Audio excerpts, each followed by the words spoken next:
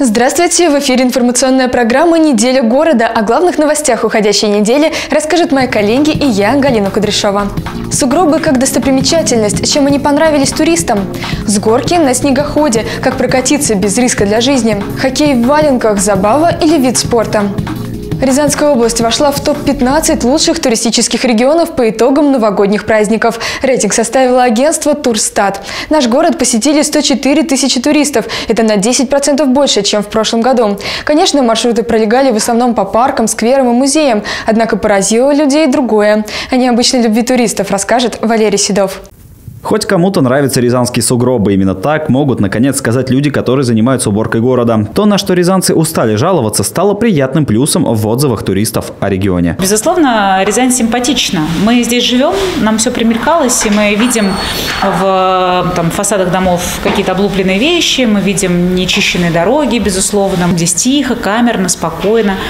Они видят белый город, белый, потому что из-за снега мы с вами ругаем дороги, объективно и правильно это делаем. А они говорят, о, зато нет реагентов, ой, здорово, снежок, ой, как в детстве. Рима Шабанова уточнила, что путешественники – это те люди, которые даже в плохом видят хорошее. Иначе говоря, настоящие оптимисты. Поэтому мы приглянулись милые рязанские сугробы вместо голых, убранных улиц родных городов. Все как в детстве. Притом плюсы в сугробах на обочинах видят не только приезжие. Лариса и Юля – молодые мамы. Вместе с колясками они ежедневно гуляют по улицам города. И пробираться по сугробам, притом с ребенком, не так-то просто. Шла на днях вот по... Горького. Свобод... Нет, Веденского. Веденского, да. Шла, шла, вроде там чистит обычно. А там дальше идет сугроб, его притоптали люди, и чтобы коляску затащить, мне пришлось разворачивать коляску и переть ее вот так. На следующий день, не на следующий день, через два дня я прошла там, не видела издалека, честно. Думала, расчистили, а в итоге оказалось, что там тропинка стала из-за снегопада еще меньше, и мне пришлось возвращаться обратно и чесать другим путем. Короче, весело. Правда, даже в таких прогулках девушки видят позитив. Мы как на танке ездим. Да, я вот, кстати, Не давно хотела Зато сказать. похудели, спасибо. Конечно же, это ирония. На самом деле проблема уборки улиц обстоит очень остро. Ну, не убирают. Я вообще-то раньше жила здесь, вот на Кремлевском валу. Был замечательно. Мы сами все убирали. А сейчас я переехала на Большой. Ну, у нас около домов убирают нормально.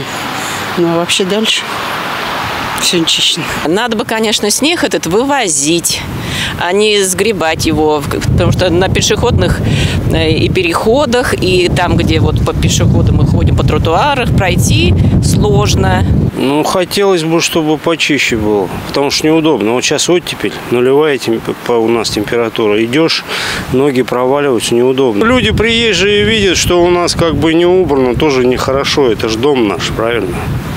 Если вот так вот подходить к этому вопросу, конечно, желательно было, чтобы было почище. Рязанцы гуляют по заснеженным улицам каждый день, совсем не обращая внимания на новогоднюю сказку, которую для нас создают городские службы. Однако оптимистичным путешественникам нравится. Быть может, стоит научиться видеть хорошее в обычном. Валерий Седов, Станислав Кудряшов, Сергей Данилин. Телекомпания «Город».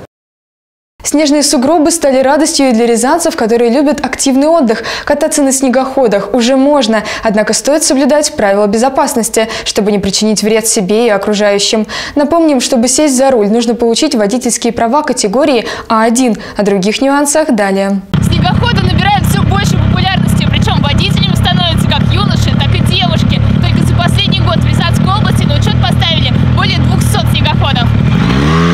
Чтобы водить такой агрегат, нужно получить права категории А1. Перед этим классическое обучение в автошколе и экзамен в ГАИ, который состоит из теории и практики. Если у вас уже есть водительские права, то экзамен проходит по упрощенной схеме. Следить за снегоходом нужно так же, как и за обычным автомобилем. должно быть обязательно зарегистрировано данный вид транспорта, а, имеется водительское удостоверение соответствующей категории. Также а, данное транспортное средство должно проходить технический осмотр. за несоблюдение этих требований административный штраф до 10 тысяч рублей или лишение удостоверения на срок от 3 до 6 месяцев. Стоит отметить, что снегоход берут ради острых ощущений. Он позволяет кататься по льду озера и бездорожью зимнего леса. Однако представляет для водителя и пассажира огромную опасность. Сейчас снег рыхлый, местами подтаивает, а снежный покров проваливается. Поэтому к трагедии может привести обычный камень или простой муравейник. Во-первых, нужно рассчитывать скорость место, где вы отдыхаете. Потому что в лесу, если вы едете по лесной дороге, может быть э, пенек за- засыпан снегом. Скорость таких машин порой больше 100 километров. И столкновение с таким препятствием грозит, в общем, самыми непредсказуемыми последствиями. Нередко владельцы снегоходов ломают руки и ноги, получают черепно-мозговые травмы. Прогулка может закончиться и летальным исходом. Чтобы избежать печальных последствий, нужно вовремя реагировать на любые изменения трассы и уметь группироваться. Чтобы не попасть э, под, под колеса, там, под гусеницы, то, естественно, надо падать как-то э, скруппировавшись и на бок это самое. Э, э, ну, так, моменты разные бывают, поэтому это все приходит с навыками. 18 января в Рязани стартовала профилактическая операция «Снегоход». Регулярные рейды сотрудники Гостехнадзора будут проводить вплоть до 17 февраля. Они напомнят водителям о правилах эксплуатации транспортных средств и безопасности во время движения. К ним присоединятся и сотрудники ГАИ. Галина Кудряшова, Сергей Данилин, телекомпания «Город». 18 регионов приняли участие в сборах начальников лицензионно-разрешительных работ Управления Росгвардии. В течение трех дней сотрудникам рассказали о нововведениях, проводили стрельбы и показательные выступления. С места событий наш корреспондент Валерий Седов. На несколько дней учебно-тренировочная база Управления Росгвардии по Рязанской области стала настоящей площадкой для проведения первого учебного методического сбора с заместителями начальников территории органов Центрального округа Росгвардии, начальниками центров лицензионно-разрешительной работы. Здесь читали лекции, рассказывали о нововведениях, а также сотрудники делились опытом.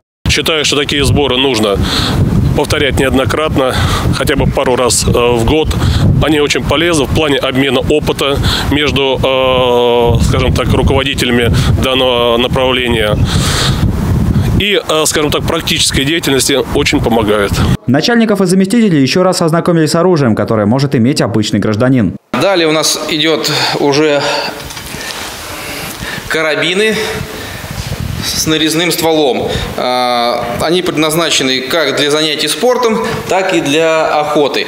А, граждане уже э, не все могут получить указанное оружие, приобрести, потому что законодательно на него налагается ограничение. Чтобы приобрести указанное оружие, сначала э, любому гражданину нужно владеть, например, вот этим вот оружием не менее пяти лет. Третий день учебно-методического сбора стал самым насыщенным на события. Здесь провели показательные занятия с участием подразделений специального назначения Управления Росгвардии по Рязанской области, групп задержания вневедомственной охраны и частных охранных предприятий по задержанию преступников. Фонари включили, патрон-патроник.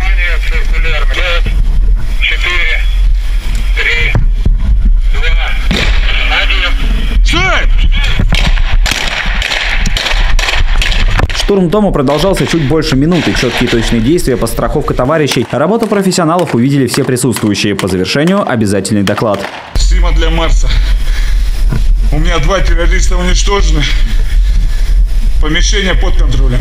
Учебно-методический сбор посетил и командующий Центральным округом войск Национальной гвардии России. Завершилось мероприятие принятием зачетов на знание правил дорожного движения и выполнением нормативов по огневой подготовке. По итогам служебной деятельности за 2018 год лучшим руководителям подразделений лицензионно-разрешительной работы Центрального округа Росгвардии были вручены благодарственные письма и кубки. Валерий Седов, Станислав Кудряшов, телекомпания «Город». Компьютеры, гаджеты и даже светодиодные лампы – все это может стать причиной повышенной утомляемости глаз. Как бороться с болезнью 21 века и помочь своим глазам видеть четко и ясно, узнала Мария Рудая. Алла Никитина – типичный работник офиса. Более 8 часов в день она проводит за монитором компьютера, работает с документами и находится в слишком ярко освещенном помещении с люминесцентными лампами. В помещениях вот у наших э, на работе очень сухо. И помимо этого напряжение глаз от работы на компьютере. К вечеру, конечно, глазки устают, сохнут, болят. Все эти и другие симптомы характерны для так называемого синдрома повышенной зрительной утомляемости. Еще его называют синдромом усталости глаз. При этом диагнозе также может быть дискомфорт в области век, нечеткость изображения и кратковременное двоение предметов. Врачи-офтальмологи в своих рекомендациях советуют проводить за компьютером не более получаса. После делать перерыв, иначе последствия не заставят себя долго ждать. Когда человек длительное время смотрит на одном расстоянии, у него напрягаются не только мышцы глаза, наружные, напрягаются внутренние мышцы, которые регулируют зрачок – Узкий, широкий, узкий, широкий. Процесс перевода взгляда вдаль и вблизь называется аккомодацией. Синдром усталости глаз встречается сейчас у многих людей. Подвержены ему не только те, кто много работает за компьютером. Покраснение и зуд в глазах встречаются у мастеров ногтевого сервиса, у лаборантов и работников торговых залов. Виной всему работа с мелкими деталями в первом случае и неправильным освещением в последнем. Так как глаз, вокруг глаза очень много нервов, кроме глазодвигательных, еще много чувствительных, Глаз реагирует слезотечением, слезная железа вот здесь располагается под верхним веком, частым морганием, покраснением сосудов и в целом может даже сопровождаться головной болью. Вносит свою лепту и использование гаджетов, отказаться от которых уже вряд ли представляется возможным. Специалисты выделяют несколько способов борьбы с синдромом повышенного зрительного утомления. Во-первых, медикаментозный, то есть использование специальных увлажняющих капель. Во-вторых, отвлекаться и смотреть вдаль хотя бы несколько минут. Чаще моргать – это поможет дополнительному увлажнению. Еще эффективно зарекомендовала себя самая простая гимнастика для глаз. Для этого нужно просто посмотреть вверх-вниз, влево-вправо. Если после использования всех этих способов улучшения не последовало, не лишним будет посетить врача-офтальмолога, который поставит диагноз и назначит лечение. Мария Руда и Сергей Данилин, телекомпания «Город». Сыграют в хоккей в валенках. Это любительские соревнования, для которых не нужна профессиональная экипировка. Вид спорта пришел к нам из прошлого. Его решили возродить три года назад. Сейчас в городе уже более 10 команд. На тренировке одной из них побывала Дина Исляева. Команда одного из городских предприятий на лед выходит в рабочей одежде, спецовках и валенках. Их выдают сотрудникам, чтобы было комфортно работать на холоде. Команда уже завоевала бронзовую и серебряные медали в этих соревнованиях. В этом году надеется взять золото. Олег Мещеряков в хоккей играет с детства. Когда узнал, что на работе собирают команду, записался одним из первых. Тренируется с друзьями, когда есть свободное время. Ну, ноги устают валенках, конечно. А так все одинаково. Будем надеяться первыми занять. Соревнования по хоккею на валенках с мячом начали проводить в Рязани три года назад. Игра для любителей. Тренироваться можно на хоккейной коробке возле дома. Клюшка, мяч, валенки – это все, что нужно. Играть сложнее, чем в хоккей с шайбой на коньках. Очень сложно. Очень. Мне кажется, даже на коньках попроще. В валенках, ну, все зависит от подводных условий, какие погода будет. В прошлом году, конечно, было очень слякотно. Такая погода была. Ну, в этом году обещают вроде морозец.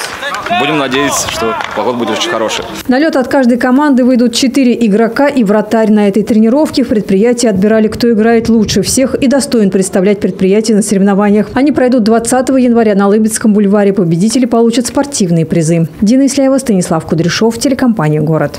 От новостей пятницы к итогам недели. С 1 января в силу вступила мусорная реформа. Теперь за вывоз, обработку и отбор твердых бытовых отходов отвечает одна организация. Полностью перейти на новую систему в России планируют к 2030 году. Итогом станет полный отказ от полигонов по захоронению твердых коммунальных отходов. Как система будет работать и принесет ли пользу, узнал Валерий Седов. С 1 января тариф за вывоз мусора появится отдельной строкой в квитанции за ЖКХ. К тому же цифра эта будет немаленькая. Все в рамках федерального закона. Плата за вывоз мусора будет рассчитываться на каждого человека в семье. Нюансы в том, что вступивший в силу закон из коммунальной услуги превращается в жилищную. То есть тариф устанавливают собственники и управляющие компании. В региональном отделении управления Федеральной антимонопольной службы рассказали, что согласно федеральному закону сбором, перевозкой и сдачей твердых бытовых отходов может заниматься как один, так и несколько операторов. Это решение принимает каждый регион самостоятельно. В Рязани выбор пал на одну компанию, которую определили по конкурсу. Действующее законодательство предусматривает, что вот как бы жизненный цикл мусора начинается от того момента, когда идет сбор, а потом утилизация, захоронение. Там очень много стадий. Вот эти все операции может выполнять иные хозяйствующие субъекты, не только региональный оператор. Я полагаю, что такая схема будет применена и на территории Рязанской области. То есть на самом деле вот во всей этой цепочке будет участвовать не один региональный оператор, реально оказывать услуги, а достаточно большое количество хозяйствующих субъектов.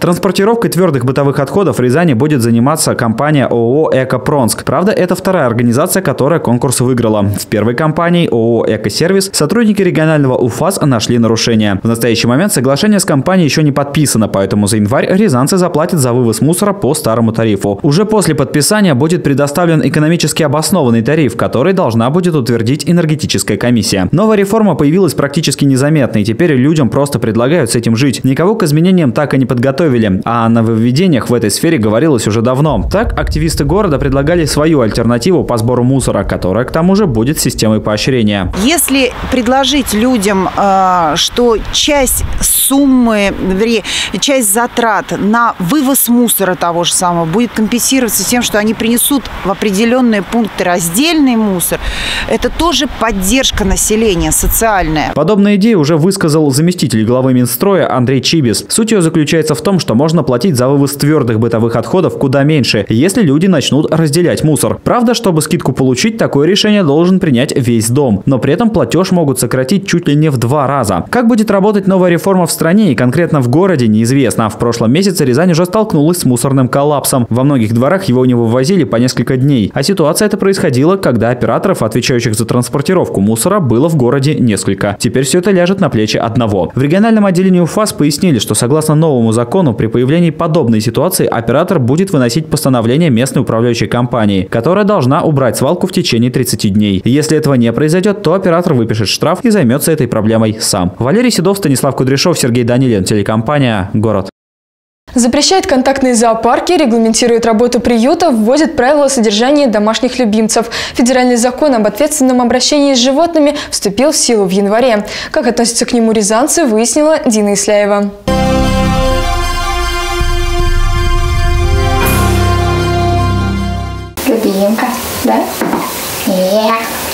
Ути какой. Галина Кудряшова – журналист и телеведущая. Дома она мама для двух котов – Тимоши и Пикселя. Пикселю три года, Тимоши восемь. Первого кота Галина увидела сидящим у двери поликлиники и не смогла пройти мимо. Забрала, несмотря на то, что мама была против того, чтобы заводить домашних животных. Он был совсем маленький комочек, умещался на ладошку буквально. Я очень боялась, что он еще очень маленький, придется кормить с пипетки. В общем, продумала все варианты. В итоге, когда принесла домой, мама сказала, все, ты будешь сама за ним ухаживать, теперь сиди с ним. Первые три недели я такая иду к плошке, и мама говорит, я его уже покормила. Я иду к горшке, я за ним уже убрала, я с ним уже поиграла. Ну, в общем, в итоге он ей даже больше понравился, чем мне. В живом уголке Рязанского эколого-биологического центра у кроликов обед. Породы от декоративной до мясной. Они тоже подкидыши. Хозяева завели себе милое пушистое существо, а когда наигрались и надоело за ним убирать, принесли сюда. Якобы на передержку и забыли забрать. Также попали в живой уголок болотные черепахи и шиншилы. Единственный новичок, которого забрать обещали, енот на сухом. Любит бананы и охотно наводит свой порядок в комнате, когда его выпускают из клетки погулять. В живом уголке проходят занятия с детьми, но брать животных на руки, как в контактных зоопарках, им не разрешают. Исключение – антистрессовая морская свинка Федор. Берешь его на руки, он успокаивается и успокаивает того, кто берет на руки. То есть такое очень дружелюбное животное, у него очень много положительной энергетики происходит.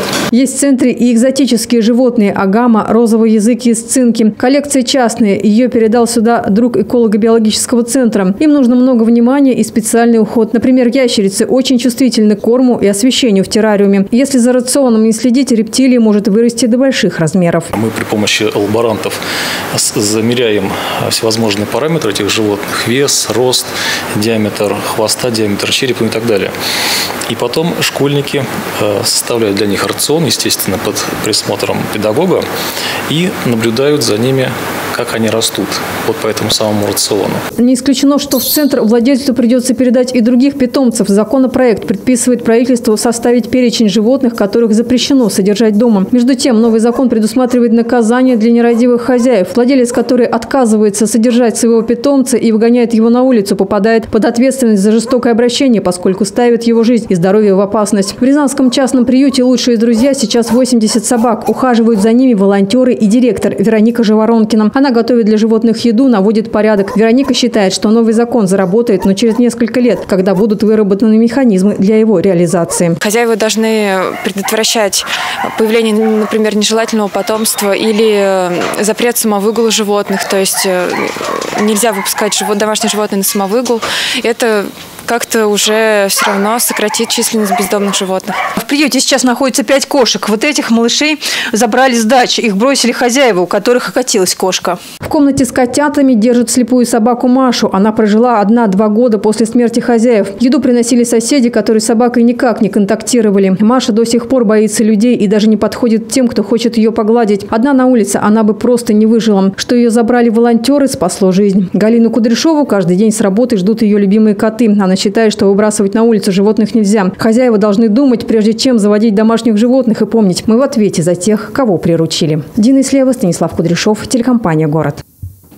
В конце прошлого года в эфире нашего телеканала вышел сюжет о закрытии фирмы «Капитал Инвест». Без вкладов остались десятки рязанцев. С тех пор прошел месяц, люди обращались в самые разные инстанции, но помогать им не торопятся. А между тем в России ввели новые правила для микрокредитных организаций. Подробности знает Мария Рудая. Доверяем, но проверяй. Как оказалось, эта аксиома может особенно помочь в финансовой сфере. В этом убедились вкладчики КПК «Капитал Инвест». Люди, которые вложили свои средства под выгодный процент, теперь не знают, где искать свои сбережения. Лидия Гаврикова признается, собирала деньги, как говорят, на старость. Брать больше негде. Вот и решила 4 года назад довериться повышенным процентам. Все документы у нее, как и у всех остальных, на руках. Договор, страховое свидетельство и копии обращений в самые разные инстанции. Мы милицию прошли, прокуратуру, э, ходили э, в ЛДПР, э, в налоговую, сейчас в Единую Россию записались.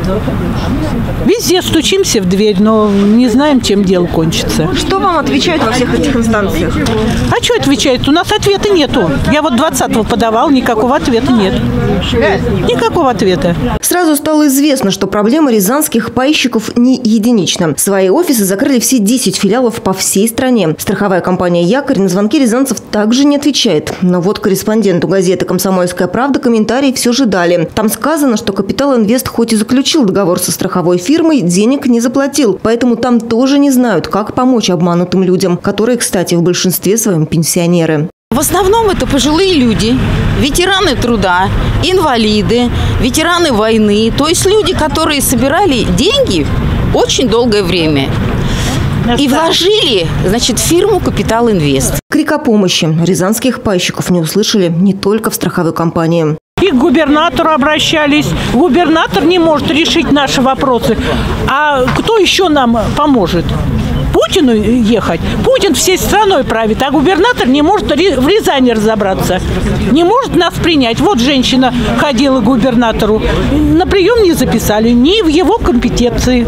У Галины Федюшкиной мама тоже вложила свои средства в инвесткапитал, но девушка не отчаивается. Говорит, надо бороться за свои права и свои деньги. Надежда есть всегда. Главное не опускать руки, писать во все инстанции, обращаться к адвокатам, юристам, не жалев на них денег.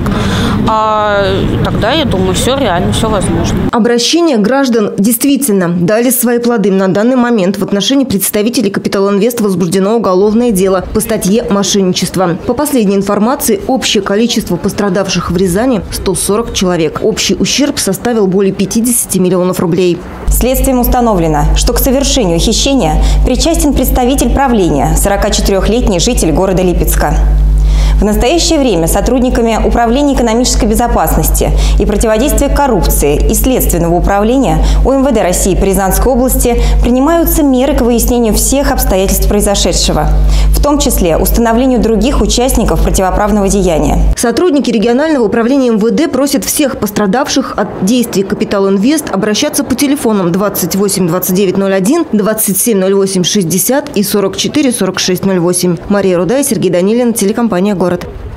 О них вспоминают лишь по праздничным датам, а между тем памятники героям Великой Отечественной войны разрушаются. Многие из них уже стали бледной копией исходного проекта. На местах боевой славы побывала наша съемочная группа.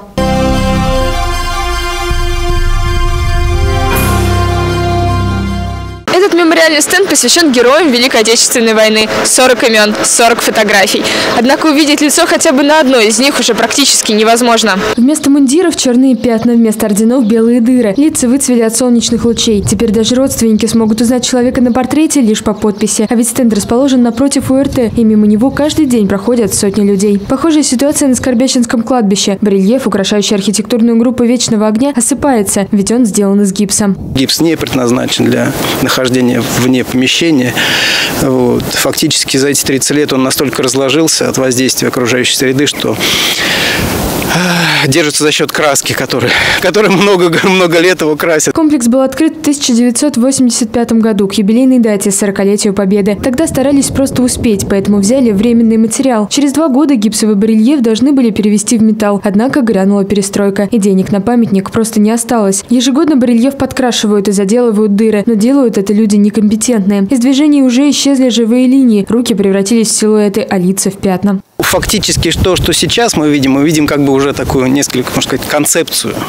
То есть как это задумывалось, потому что все эти многочисленные 30-летние утраты постепенно, постепенно утрачивалась авторская лепка, будем говорить так. И осталась она только в небольших фрагментах. И в некоторых фигурах практически полностью утрачена. Вот, то есть постепенно мы теряем это, эту работу. Еще более грустная ситуация произошла с мемориальными досками, которые украшали Ряссельмаш, старейший завод Рязани. Да, вот одна посвященная Страйкову, который в свое время работал на этом заводе, а вторая э, как раз э, рассказывающая о том, что в годы Отечественной войны здесь на заводе выпускались корпуса авиабомб. Две доски висели рядом друг с другом при входе на эту проходную. Старое здание снесли в 2016 году. Нового застройщика попросили сохранить проходную и оставить памятные доски на историческом месте. Однако они бесследно исчезли. Рязанской топографической комиссии найти их не удалось до сих пор. Галина Кудряшова, Станислав Кудряшов, телекомпания «Город». Покататься на лыжах, поучаствовать в спортивных турнирах или насладиться свежим воздухом – все это можно сделать в лесопарке как днем, так и вечером. Правда, проект можно смело назвать пилотным, ведь ошибок избежать не удалось. О плюсах и минусах в нашем сюжете. Чтобы добраться до лесопарка, нужно пройти около 500 метров от ближайшей остановки, перейти дорогу по нерегулируемому пешеходному переходу, пересечь парковку, лавируя между машин, и вы, наконец, внутри. Путь, правда, длинный получается и извилистый. Это один из первых минусов, который выделил архитектор Илья Стюхин. Второй – это сам вход. Задача входной группы в парке – это показать этот парк и пригласить людей туда войти.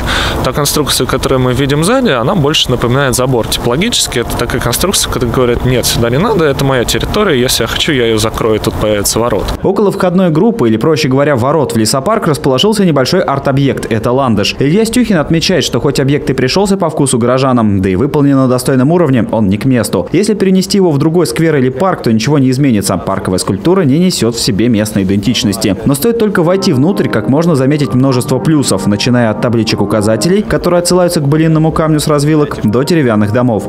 Очень хорошо, что здесь есть обслуживающие функции, людей очень много, и правильно, что им предлагаются какие-то услуги, там теплый чай, какие-то напитки, еда. Это очень хорошо. А, ну, по дизайну тут как бы есть личные вкусовые пристрастия, их, конечно, хочется опустить. Здорово, что это из дерева. А, единственный минус это то, что это, конечно, типовые конструкции, но понимаю, что денег э, ограниченное количество, в принципе, в этом ничего плохого нет. Появились две горки, которые полюбились как детям, так и взрослым. Правда, перед тем, как на них прокатиться, нужно прочитать огромную инструкцию по технике безопасности. Да и в дневное время большая горка была закрыта. Видимо, в целях все той же безопасности. В дневное время в лесопарке самая большая горка закрыта. Работает только одна, по которой может скатиться любой желающий. Только даже для детей маленькая горка огромна, и получить на ней травму тоже реально, поэтому логики безопасности нет. Вечером лесопарк превращается в сказочное место. Повсюду загорается иллюминация, которая создает ощущение настоящего праздника. Да и по словам посетителей парка, это просто красиво. Илья Стюхин отметил, что в этом есть и небольшой минус – дизайн света. В гирляндах чередуются холодные и теплые оттенки. Но все недочеты меркнут перед главным плюсом – это новогоднее ощущение. Главный плюс это то, что появилась альтернатива, люди сюда приходят, здесь достаточно э, хорошая анимация, то есть э, здесь э, Снегурочка, Дед Мороз, людям это нравится, я видел очень много позитивных откликов, это та часть работы, которая очень удалась. В новогодние каникулы лесопарк стал одним из самых часто посещаемых парков. Люди со всего города хотели сюда приехать и пройтись по улицам новогодней деревни. Супер, очень горка такая классная, каток классный, спасибо большое. Отлично, не, не узнать с тем, что было раньше. Хотелось бы продлить все это вот до конца, прям до реки, та, такую красивую зону. Хочется поблагодарить на полном серьезе всех тех, которые принимали участие в облагораживании на территории. Архитектор уточнил, что подобный проект для Рязани сродни пилотному, и небольшие недочеты – это нормально. Главное, чтобы на них обратили внимание и не допускали впредь. Валерий Седов, Сергей Данилин, телекомпания «Город». Это были главные новости уходящей недели. Еще больше информации вы сможете найти на нашем официальном сайте город62.тв и в группе в социальных сетях. А на этом я с вами прощаюсь. Хорошего отдыха и до встречи в эфире. Мама спит, она устала, в пробках два часа стояла. До работы далеко, добираться нелегко. Каждый день ее я жду, грустно мне бывает Потому что мамочки мне очень не хватает. А папа наш пришел с букетом и сказал нам по секрету. Будет времени в запас, переезжаем в Еврокласс. Это в центре, здесь все рядом, всей семьей мы очень рады. Хочешь стать одним из нас? Заселяйся в Еврокласс Строительная компания «Зеленый сад».